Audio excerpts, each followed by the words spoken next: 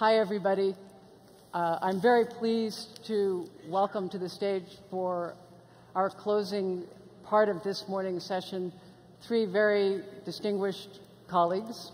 Um, on my immediate left is Matt Bannick, who is the managing partner of the Omidyar Network, but also has been the co-chair of the U.S. National Advisory Board on Impact Investing. Um, next to him is Jonathan Greenblatt, a great friend and colleague who is also special assistant to the president and director of the White House Office of Social Innovation and Civic Participation. And um, from the farthest away, uh, and farthest away from me, is uh, Ronald Cohen, whom I first met when I was a young leader uh, starting my own um, community investment organization. And Ronald today is the chair of the social, in, sorry, the Social Impact Investment Task Force established by the G8 countries. So we're here actually to reflect on what's happened between last year and this year when Matt was on stage and was talking to us about the development of this uh, task force. And so my first questions are for you.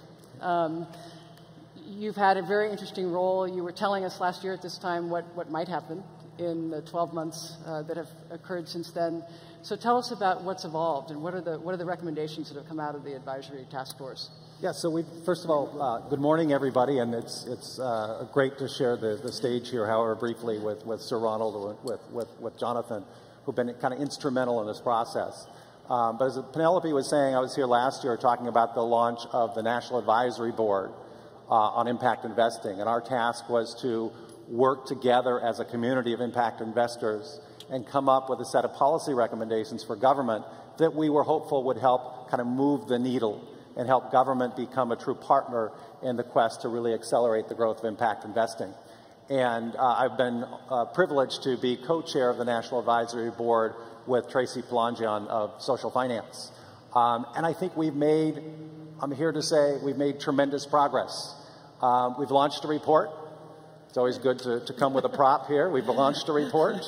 It's, it's a, I, I, I assure you, it's a fascinating read of some 51 pages uh, chock full of fabulous recommendations about what can be done, what government can do to help us accelerate the, um, the, the, sector.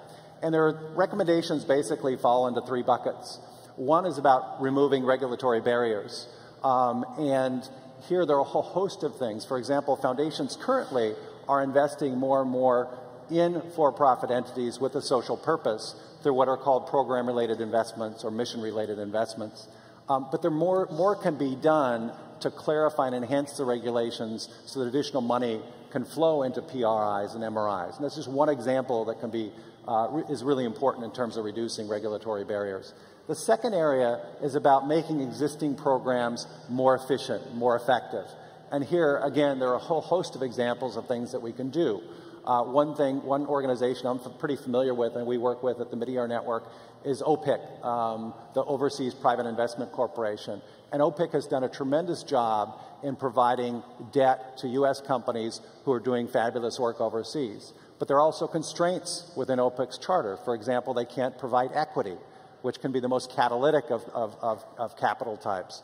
So in our recommendations in the report, um, we call upon greater flexibility on giving, uh, providing greater flexibility for OPIC and, uh, and, and finding other ways to make government programs more effective. And finally, there's a set of recommendations in the report about ways in which government can continue to catalyze the impact investing market. It's so interesting that people sometimes uh, shy away from government and see it as an impediment. The reality is government plays a critical role in so many industries. You know, think of energy, think of the internet, right? Great example is venture capital industry with which many of us here in, in, in the Bay Area are familiar the venture capital industry really took off when government promulgated more inclusive recommendations around how pension funds make their investments. And again, here there are a number of uh, specific uh, recommendations we make. For example, we encourage the development of the uh, Global Development Innovation Fund, which is being pioneered by USAID and DFID in the UK. And we think there are a number of other examples where government can really help catalyze markets. So th those are the big three, we think, are reducing the regulatory barriers, increasing the effectiveness of programs, and catalyzing more investment and impact investing. Thank you very much. Um, this is going to be tough. We're, we're limited on time, and I know I already have a million questions, and I'm sure you do too. But I'm actually going to switch order a little bit. Um, Ronald, when you listen to Matt and you think about this audience out here, you've got entrepreneurs, investors, yeah. um, a, quite a diverse audience. Why should they care about what Matt just said? Thank you, Penelope. And may I, may I say, it's just, do you mind if I stand? Just you to, may to do whatever you wish, yeah. Uh, it's great to be here with you in Silicon Valley. Uh, I started out at the age of 26 as an entrepreneur and uh, a venture capitalist. Used to have a, an office in Silicon Valley. And I'd like to answer Penny's question by saying what brought me to this area is when the British government 14 years ago asked me to look at the issue of poverty and look more entrepreneurially at how we could cope with it. And what I realized is that a social entrepreneur, somebody who wants to devote their career and their effort and their resources to helping others, can't access capital in the way that a business entrepreneur can. And that's what impact investment is about. Enabling social entrepreneurs, whether they're working through not-for-profits or for-profits, to raise the capital they need in order to improve the lives of others, or the environment, which improves the lives of all of us. And I guess that's the reason why all of you are here. And when you listen to what Matt was saying, what Matt is saying is there have been some evolutions in thinking which bring us to a tipping point today. And government has to push us over the tipping point. The evolution of thinking is 19th century talked about financial return. 20th century talked about risk and return. 21st century talks about risk, return, and impact. Next evolution in thinking, we've all assumed that you can't measure impact forever. But through the development of social impact bonds and in other ways, we've begun to realize that you can measure social impact. And that if you set clear impact objectives and you measure their achievement, it helps you to raise your game. And if government is prepared to pay for success, or if foundations, we heard Judith Rodin's very eloquent explanation of all the things, the pioneering things that Rockefeller Foundation have been doing, if foundations are prepared to step in and pay for success, then we begin to have a world where those who achieve a social performance can get remunerated for it, and they can access capital the same way a business entrepreneur that delivers profit can. In order to make that happen, we need two big enabling moves by government. And that's what the task force report is going to be pushing when it emerges in two weeks' time on September 15th. And I want you, please, all of you, to watch out for it. And we want a clamorous response to the report.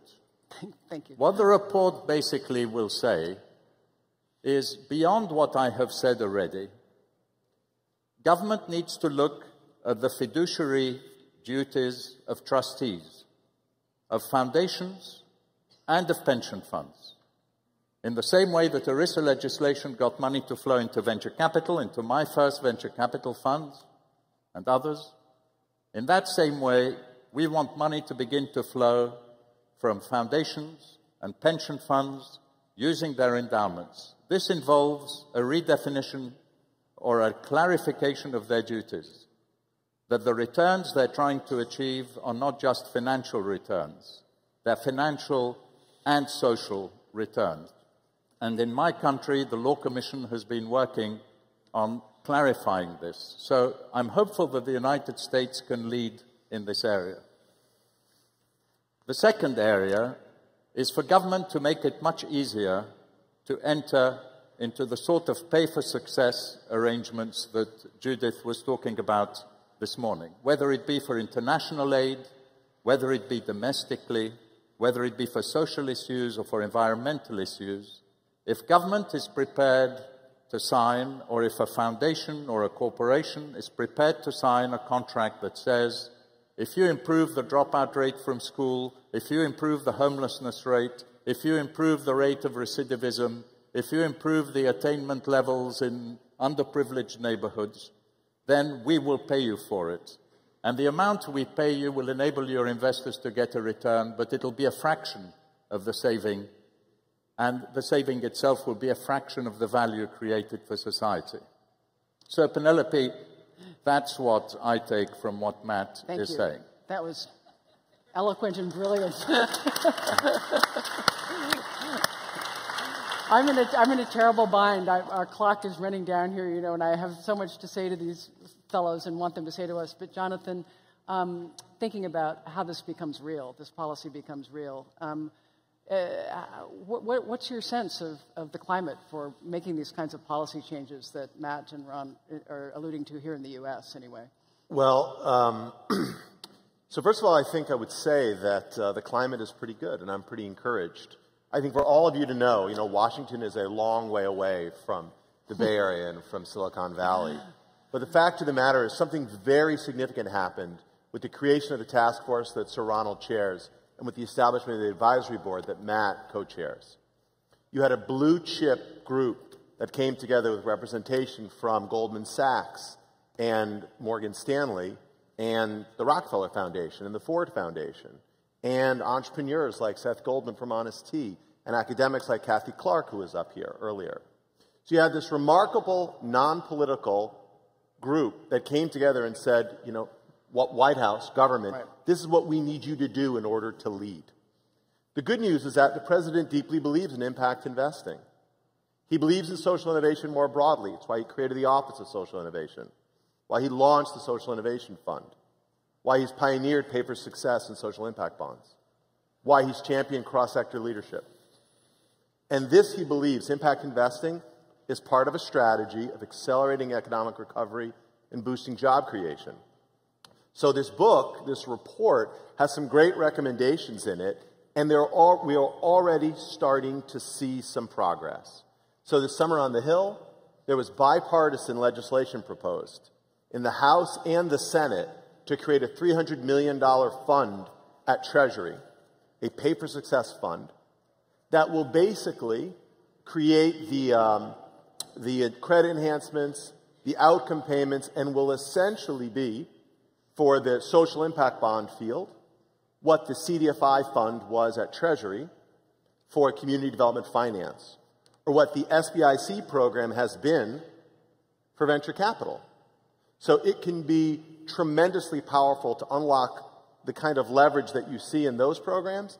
Think 10x, think 20x on that $300 million proposal. The fact that, again, Republicans and Democrats are behind it is really good news. The second thing I would say why I'm encouraged is this summer, as Judith mentioned, we hosted a roundtable at the White House on impact investing. And we had investors, many of whom came out here from right. San Francisco, from venture capital firms, from uh, asset management firms, some foundations, who stepped forward and said, we're going to make commitments because we see impact investing not as a trade-off between, you know, impact and returns, but as a way to drive alpha, as a way to deploy capital, as a way to create value. They made over $1.5 billion worth of new commitments this summer.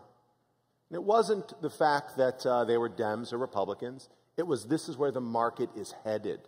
So I think there are, there are very encouraging political currents which we can look at. Great. There are very, very interesting uh, developments on the investment side which we can look at, which give us great, great confidence that there's a lot of opportunity moving forward.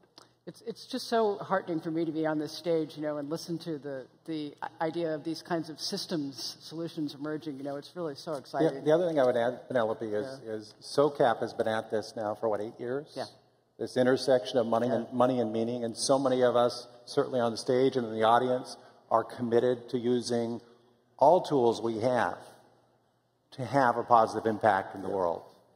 And this report and this effort with the task force, this is all about marshaling that same ethos, that same energy that SOCAP has helped bring along for so many years into the public sector as well, and getting government as a partner so that we can take this to the next stage. So it's completely resonant with your work here. And uh, again, I've just been delighted to serve with these two gentlemen and, and trying to push this forward a little bit.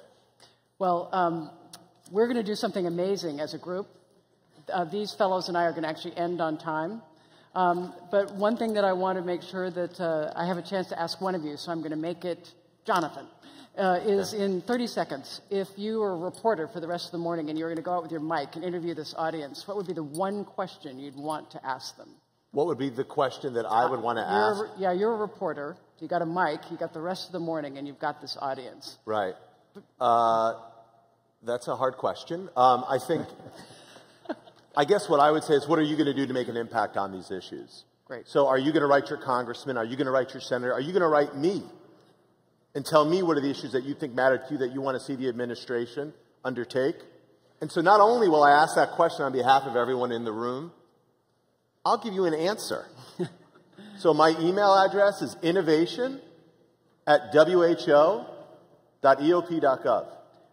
Write it So down. there's the question. You should email me with what you think the White House and the President should be doing to move this ball forward, or you should tell me what you are going to do to advance the recommendation. And I want you to do this. I really, really want us to do this because that's the power of SOCAP. And so you've had an invitation from, from Jonathan to do that, and for all of these uh, people and the amazing work that this, uh, this, these committees have been doing, it's, it's our job to advocate. And so I hope you'll do that with me. Um, so let's celebrate the end of our morning session with a round of applause for these wonderful men. Thank you.